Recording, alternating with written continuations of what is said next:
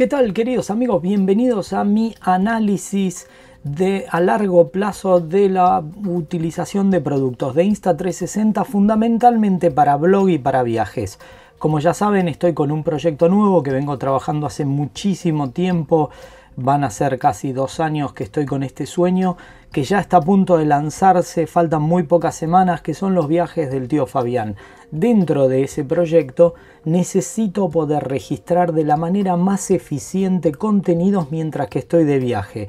Y para decir con total honestidad, no tengo tiempo de dedicar a viajes reales, no hago viajes para crear contenidos, sino que trato de organizar viajes con la familia y dentro de esos viajes, bueno, aprovecho y hago toda la parte posible de fusión de grabar para las distintas plataformas en las que además publico contenidos. Entonces, equipos eficientes, yo acá tengo los cuatro sistemas que considero que van para todo el mundo.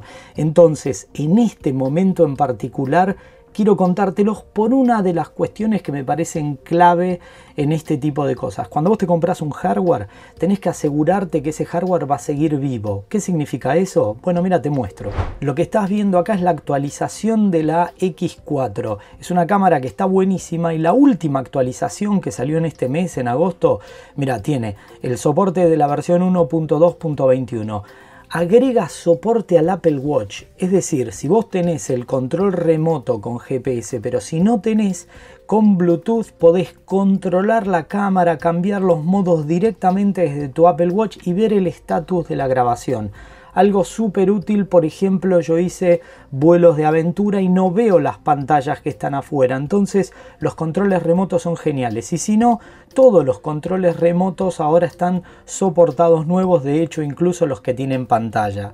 Además incorpora eh, capacidad de streaming entre 60 con video flat, es decir, con video plano que está bueno. Nuevos soportes de 360 para broadcasting en modo webcam, con lo cual tenés compatibilidad con OBS. ¿Cuál es la ventaja? Podés hacer transmisiones de eventos de manera esférica directamente usando otras plataformas. Escucha esto, soporta el multiview con face tracking, o sea, anda genial incluso en ambas perspectivas.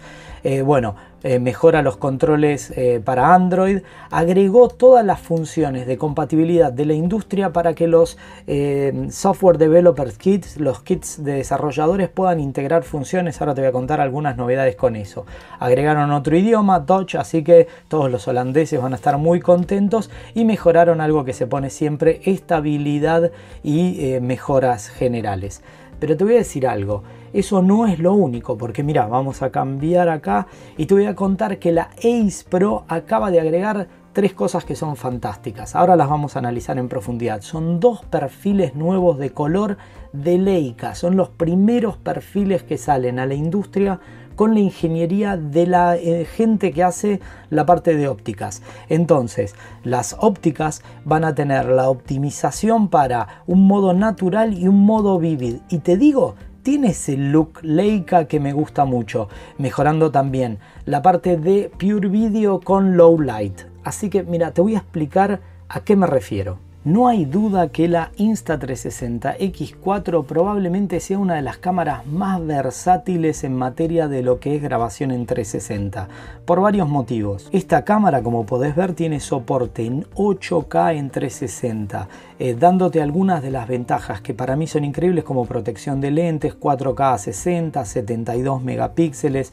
el software de edición es genial, lo que trae en el kit es una muy buena opción, pero lo que más me gusta de esta cámara y posiblemente lo que más me gusta de Insta360 son esas actualizaciones constantes, porque como te decía en Nueva York, es una gran ventaja poder grabar y estar totalmente libre como estás viendo sin ninguna preocupación de las cámaras. Pero muchas veces lo que querés hacer es pasar lo más desapercibido posible. Y acaban de presentar hace muy poquito la Insta360 la versión Go 3S, que es esta cámara, en este caso la tengo en color negro. Y cuál es la gran ventaja que vos podés directamente utilizarla eh, en la ropa vestida. Es una cámara de bajo perfil 4K que tiene un montón de ventajas. La cámara es sumergible, la cámara sola, independiente, obviamente tenés el modo inteligencia, pero con su Action Pod tenés pantalla rebatible, se puede utilizar para lo que son las subjetivas. Es más,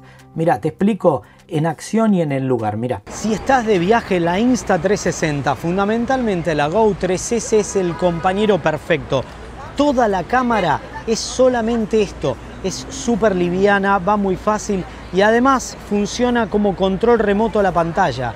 En esta medida podés tener una cámara de acción con 4K de resolución que puede grabar videos en formato vertical y también en formato horizontal con lo cual es una gran compañía. De hecho, uno de los problemas habituales que se da con estas cámaras es que se marquen los vidrios, pero en este caso le sacás la lente protectora y listo. Otra de las grandes ventajas que tiene es que la podés usar pegada al pecho con el soporte interno magnético que trae o si no también en tu gorra para poder hacer tomas de manera subjetiva. Es la cámara perfecta porque es súper compacta, liviana, ocupa muy poco lugar y otra de las grandes ventajas es que podés usar la base como control remoto, lo cual es un beneficio.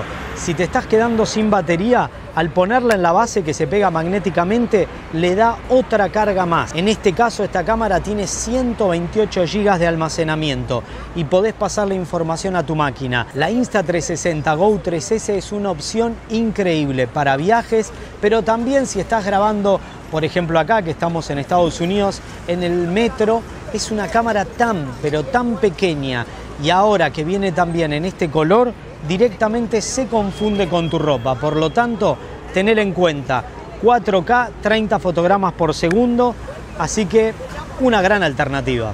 Pero te quiero recordar, esta es la primera parte y en la segunda parte te voy a decir, mira, está nuevita, sin abrir una cajita, todavía con su celofán, mira el brillito, con su celofán listo y puede ser tuya la nueva Go 3S.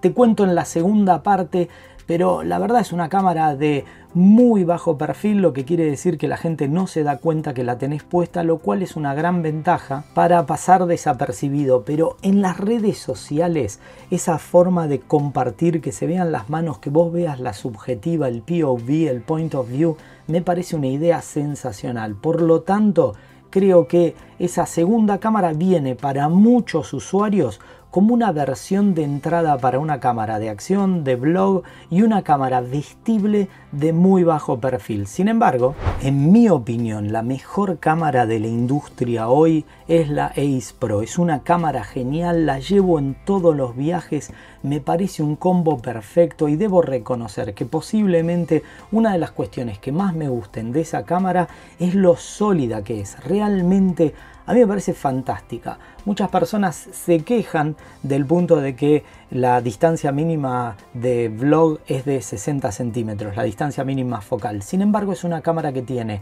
un X y 2X, que tiene la posibilidad de grabar en 8K 30 fotogramas, presentándose como la cámara más potente de acción que existe al menos en este momento en la industria, con actualizaciones constantes, con nuevos perfiles de color, que como verás en todas las tomas es increíble, la uso en todos los viajes y es con la que hago los timelapse.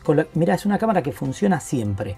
Entonces, tiene dos características que son geniales. La primera, las grabaciones nocturnas quedan buenísimas, pero como es resistente al agua, a diferencia de otras cámaras, súper resistente, entonces la podés mojar, la podés sumergir, puede haber tormentas, pero la posibilidad de grabar de noche, incluso de noche y con lluvia, grabar timelapse, grabar distintas secuencias y saber que no se te va a dañar, a mí me parece que es la combinación perfecta. Sin embargo, también puede existir la posibilidad de que todo esto sea una inversión demasiado grande y seas como muchas de mis acciones, de hecho el 100% del blog yo lo hago con el iPhone, lo hago directamente hablando a cámara con el iPhone. Por lo tanto, este accesorio es perfecto, es la combinación que faltaba, así que se viene un episodio exclusivo con el Flow Pro con tracking, con un montón de servicios de inteligencia. En resumen, en esta primera parte te quería contar todo lo que se viene a un año pleno de uso de herramientas de Insta360 en todos los viajes. El 100% lo he registrado,